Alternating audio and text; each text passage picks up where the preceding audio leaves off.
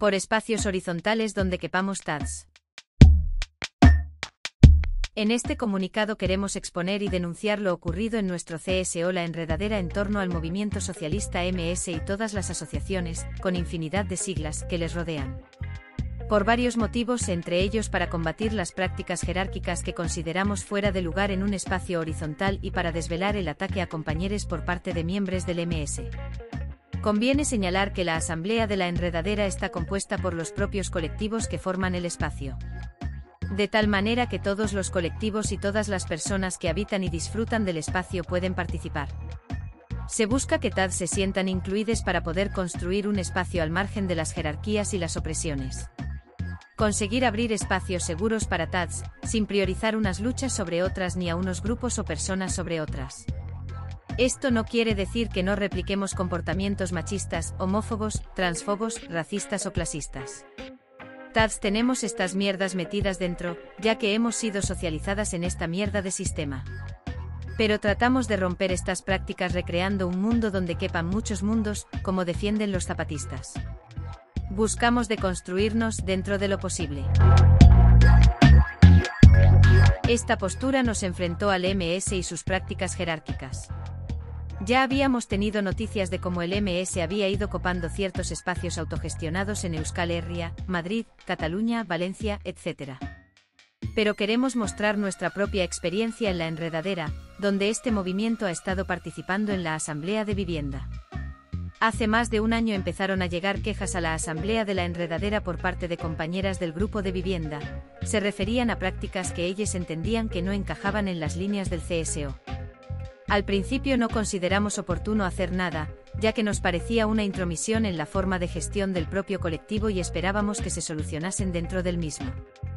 Una de las cosas que nos frenaba a la hora de actuar era que las personas que se identificaban como pertenecientes a EPS, una de las siglas usada por el movimiento socialista, eran compañeros que llevaban mucho tiempo en el espacio y con las que habíamos compartido bastantes luchas. Pero las quejas seguían llegando y los comunicados que venían de Euskal Herria hicieron saltar las alarmas. Decidimos ver qué ocurría en la Asamblea de Vivienda para exponer las quejas que nos estaban llegando en cuanto a la falta de horizontalidad en la toma de decisiones. Match compañeros del CSO estaban bastante preocupados por lo que ocurría y necesitábamos comprobarlo de primera mano. La Asamblea de Vivienda organizó un plenario al que asistimos gente de la Asamblea del Espacio, cuestión que no fue vista con buenos ojos. Quizá esto fue una intromisión en su forma de gestionar y quizá tuvimos en esta ocasión una práctica jerárquica, cosa que les criticábamos a ellas. Pero también es cierto que después de meses de oír críticas y quejas, y de ver qué había ocurrido en otros CSO, estábamos ya con todas las alarmas encendidas. No justificamos lo que hicimos, solo que no veíamos otra salida. En este plenario se les señalaron varias cuestiones. Se indicó que estábamos en un espacio horizontal, donde todas las voces debían tener el mismo peso y que funcionaba por consenso, a lo que se llegó a responder que había que naturalizar las jerarquías. Se señaló que se relegaba el trabajo destinado a los casos, es decir, a las personas que vivían situaciones críticas con el tema de la vivienda, en favor de la formación ideológica y de la hiperestructuración. Les indicamos cómo ciertas prácticas parecían conllevar un racismo y un clasismo oculto, junto con un edadismo manifiesto repetido en frases como los jóvenes somos más y trabajamos mejor. Afirmar que solo los jóvenes universitarios son sujetos políticos es algo que deja de lado la realidad de más compañeros, cosa que se nota bastante más en una asamblea de vivienda, donde la mayoría de la gente es racializada, migrante y con problemas y discriminaciones mayores que las de un joven blanco con estudios. Por muy difícil que sea la vida para TADS en este sistema de mierda. Se pidió que revisaran esas prácticas, ya que no estaban en armonía con el CSO, que había llevado a cabo su propio plenario hacía unos meses. En la respuesta que dieron a la Asamblea de la ENRE a través de un comunicado, consideraban que habíamos ejercido una intromisión en la gestión de su propio colectivo, sin que hubiera ni la más mínima autocrítica por la situación generada. Obviamente esta contestación crispó más los ánimos de las dos partes. Aún así, se nos indicó que ese no era el comunicado definitivo de la Asamblea de Vivienda, por lo que esperamos a que nos llegara otro escrito consensuado por su parte. Mientras tanto, algunos compañeros de la Asamblea de Vivienda se marcharon de la misma por las tensiones que se estaban produciendo. hasta que hubo un incidente con un desahucio, que volvió a poner el tema en primera línea en la asamblea de la ENRE. Se dejó a una compañera sola ante una situación muy difícil por no querer seguir la línea que marcaban las personas pertenecientes al MS. Esto unido a los ataques a compañeros que presentaban oposición a sus prácticas dentro de la Asamblea de Vivienda, hizo que les pidiéramos reunirnos para tratar de solucionar los problemas. La Asamblea de Vivienda no llegaba a un consenso sobre esta reunión. Algunas personas manifestaban su desconfianza hacia la Asamblea del CSO, de la que indudablemente formaban parte. Finalmente se decidió abordarlo de forma específica en una asamblea de la ENRE a la que asistieron algunas personas participantes del grupo de vivienda. Hay que destacar que desde el principio una de las dificultades para entenderse consistía en que las propias personas del MS no reconocían su pertenencia al mismo, o incluso lo negaban categóricamente, aunque luego sus discursos siguieran el guion de MS. Se les reprochó que seguían con prácticas jerárquicas, que no habían hecho autocrítica, que estaban dejando de lado a Max compañeros y que priorizaban la ideología por encima de todo, incluso por encima de los casos de vivienda y los cuidados de las personas dentro del colectivo. En esta reunión se volvieron a ver las estrategias utilizadas por estas personas, cuando hablaron de consensos que no eran tales.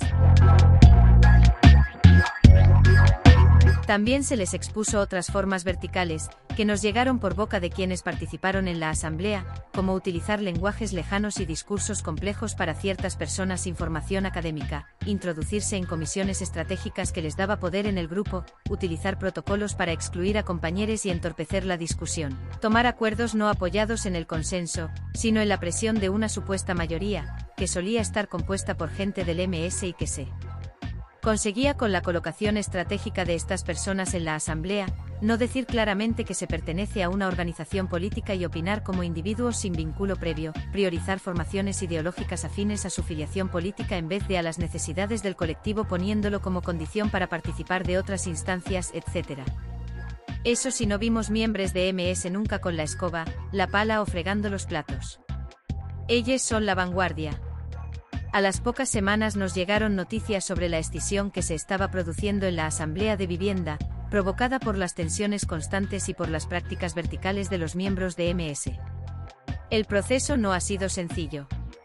Las personas involucradas en el MS secuestraron las redes sociales, cambiando la contraseña para presionar y quedarse con el dinero, el nombre del colectivo, las propias redes e incluso, según dijeron, con el espacio. Se llegó a despreciar a compañeras por ser racializadas. Más compañeros tuvieron que aguantar esto mientras se les criticaba de forma personal. El secuestro de las redes por parte de las personas MS terminó en una mediación entre ambas partes y supuso que la Asamblea de Vivienda se extindiera definitivamente, yéndose del espacio aquella que estaba conformada en su mayoría por miembros de MS o por sus simpatizantes gracias a los compañeros que han luchado por su colectivo, y que han mostrado una entereza y una paciencia casi infinita, acusadas y demonizadas cada vez que denunciaron el autoritarismo y la exclusión, aunque algunas no aguantaron estos ataques y se marcharon, la Asamblea de Vivienda sigue adelante en la enredadera. Ahora les toca reconstruir la asamblea y seguir luchando porque la vivienda sea un derecho de TADS y que las personas que están en más riesgo, que suelen ser mujeres racializadas migrantes y con un nivel adquisitivo bajo, tengan mecanismos para oponerse a este sistema. Con este comunicado, que cuenta lo que hemos vivido en el espacio de la enredadera durante más de un año, no queremos enemistarnos con los compañeros que se han incorporado al MS y que han estado con nosotros desde hace años y podemos decirlo con mucho cariño mutuo, sino remarcar que ciertas prácticas no tienen cabida en un espacio como el nuestro, que queremos horizontal y plural. Nuestra lectura de la historia es otra y queremos aprender de ella en vez de aferrarnos a obsoletas prácticas.